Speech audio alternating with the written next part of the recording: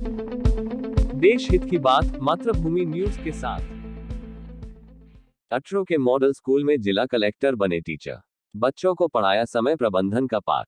बारह समग्र शिक्षा विभाग एवं पिरामल फाउंडेशन ने मिलकर कलेक्टर के नेतृत्व में जो नवाचार शुरू किया, उसके तहत शनिवार को अटरू ब्लॉक के स्वामी विवेकानंद राजकीय मॉडल स्कूल में कलेक्टर सर की क्लास का सफल आयोजन किया गया।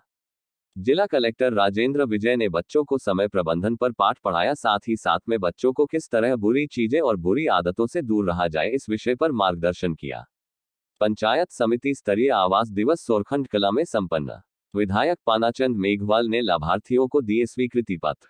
बारह पंचायत समिति स्तरीय आवास दिवस पंचायत समिति इंताकी ग्राम पंचायत सोरखंड कला में सैकड़ों लाभार्थियों, ग्रामीणों एवं कांग्रेसजनों की उपस्थिति में मनाया गया। कार्यक्रम के मुख्य अतिथि बारह अटरू विधायक पानाचंद मेघवाल, विशिष्ट अतिथि प्राची गालव सरपंच ग्राम पंचायत सोरखंड किला रही तथा अध्यक्षता कार्यवाहक विकास अधिकारी पंचायत समिति अंता महेश गर्ग द्वारा की गई। मुख्य अतिथि पानाचंद मेघवाल द्वारा प्रधानमंत्री आवास योजना अंतर्गत स्वीकृत किए गए आवासों के स्वीकृति पत्र लाभार्थियों को भेंट किए गए। रानी लक्ष्मीबाई जयंती को नारी शक्ति दिवस संगोष्ठी के रूप में मनाया। छबड़ा एबीवीपी कार्यकर्ताओं द्वारा रविवार को स्थानीय बालिका आदर्श विद्या मंदिर में रानी लक्ष्मीबाई जयंती को नारी शक्ति दिवस संगोष्ठी के रूप में मनाया गया। नगर मंत्री दीपक मीना के अनुसार कार्यक्रम में एबीवीपी के प्रांत उपाध्यक्ष सोनू गौतम मुख्य अतिथि के रूप में उपस्थित रहे। आदर्श विद्या मंदिर में स्कूल बैग सजाओ प्रतियोगिता का हुआ आयोजन।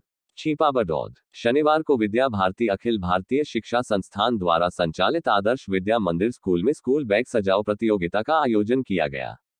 प्रचार प्रमुख शानु प्रकाश चक्रधारी ने बताया कि विद्यालय में शनिवार कार्यक्रम के तहत स्कूल बैग सजाओ प्रतियोगिता का आयोजन किया गया। जिसकी प्रभारी अंतिम गोठानिया ने चार निरीक्षण दलों का निर्माण कर उनकी सहायता से प्रत्येक कक्षा के बच्चों के स्कूल बैगों का बारीकी से निरीक्षण किया और विजेताओं को पुरस्कार देकर सम्मानित किया। नकली खाद बनाने वाले गिरोह पर उचित कार्यवाही करने की मांग। कांग्रेस कार्यकर्ताओं ने थानाधिकारी को दिया ज्ञापन।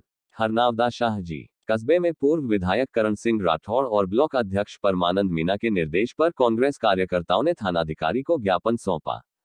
कांग्रेस कमेटी नगर उपाध्यक्ष केदार लाल नागर ने बताया कि कस्बे के खाद विक्रेताओं द्वारा निर्धारित मूल्य से अधिक में खाद बेची जा रही है, जो कि किसानों के साथ अत्याचार किया जा रहा है।